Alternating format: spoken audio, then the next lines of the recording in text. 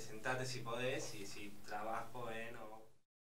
Nosotros empezamos como un grupo de, de ex alumnos de un colegio a viajar a este paraje, Árbol Blanco, en Santiago del Estero,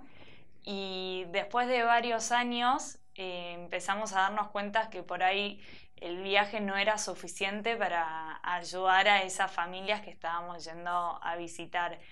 Y con un grupo de, de los chicos empezamos a pensar qué podíamos hacer nosotros para cambiar esa realidad.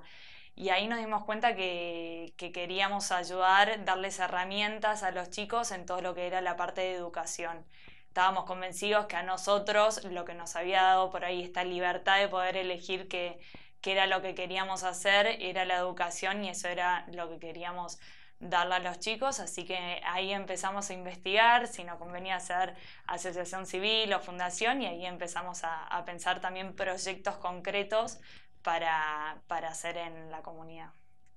No, en realidad lo que más me motivaba era, eh,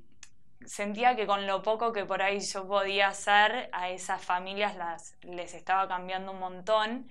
Em, a mí me llamó mucho la atención la primera vez que, que viajé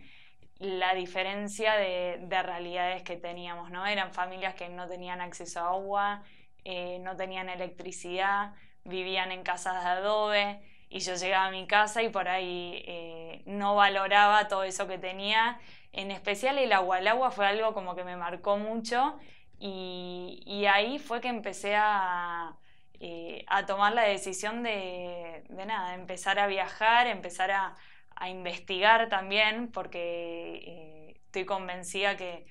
que, la forma de ayudarlos a ellos por ahí no es desde el asistencialismo, sino eh, al revés, como darles herramientas para que sean ellos mismos los que puedan autogestionarse y, cambiar la realidad en la que por ahí hoy en día están viviendo al principio cuando viajamos nuestro primer objetivo era unir a la comunidad.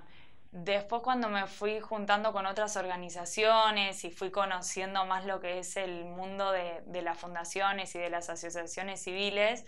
eh, me fui dando cuenta que por ahí tendríamos que haber arrancado armando como un diagnóstico eh, de la comunidad, eh, conocer, bueno, cuántas son las familias que viven ahí, cuántos son los chicos que van a la escuela, Em, creo que, que, por ahí nos faltó arrancar desde ese lugar y no queriendo como ir y llevar y dar herramientas eh, como así de una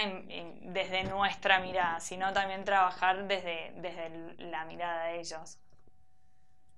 No sé si me considero una emprendedora yo, sí creo que dentro de, de, los integrantes de una sola familia hay chicos que son más emprendedores y que me ayudan por ahí en esa parte, que es lo que a mí me falta. Em, pero creo que es eh, una sola familia justamente es un emprendimiento que, que está teniendo un impacto social y que eh, nada, cada vez está creciendo más. Perfecto. Eh sos abogada y nada, supongo que te debe haber servido. ¿Vos sentís que es clave haber formarte con un equipo de profesionales o pensás que no, no influye mucho y simplemente con la voluntad ya alcanza? Yo creo que todos tenemos algo para dar desde el lugar que, que cada uno eh, pueda. Eh, siempre es importante tener la voluntad y por ahí como profesional tenés algunas herramientas que, que por ahí otros no, eh, pero creo que todos tenemos algo para dar y no necesitas ser profesional eh, para poder ir a ayudar y aportar y, y generar un cambio en, en, la vida del otro. Sí, creo que, que, es un país solidario y que muchas veces eh, como que no nos damos cuenta de todo lo que se está logrando a, través de, todas las fundaciones y todas las organizaciones que, están trabajando en el país. Justamente nosotros antes de hacernos asociación civil, una, de las preguntas que nos hacíamos es si realmente era necesario formar una fundación existiendo tantas fundaciones que, que, estaban trabajando por la educación o por la primera infancia eh, o por chicos que querían estudiar. Y, y una de, de, las personas de una de las fundaciones nos dijo, sí, hay un montón de fundaciones, pero ninguna trabaja en árbol blanco. Em, así que ahí fue, ese fue como el motor que, que nos llevó a conformar la asociación. Me es muy difícil el rol de líder, por eso eh, como que también intento de siempre trabajar en equipo. Eh, me es difícil ser yo la que como toma las decisiones, siempre me gusta como le pregunto a alguien, a alguno de los chicos. Em, para mí fue un aprendizaje enorme, eh, nunca me vi como liderando un proyecto, eh, pero bueno, creo que también me sirvió mucho estar acompañada por un grupo de amigos que, cada uno de ellos como que me fue fortaleciendo y, ayudando a liderar el equipo lo, mejor posible. La realidad es que el proyecto se crea en base a, a las necesidades de la comunidad y que la comunidad en realidad es el motor de, toda una sola familia que nosotros,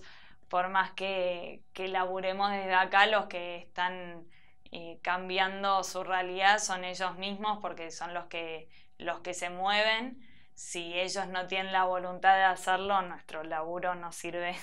para nada. Eh, y creo que también lo más lindo y, que tiene este proyecto es que, que, son ellos mismos los que proponen qué proyectos llevar adelante y nosotros los acompañamos y les damos las herramientas, pero eh, que son ellos los que, los que laburan el día a día.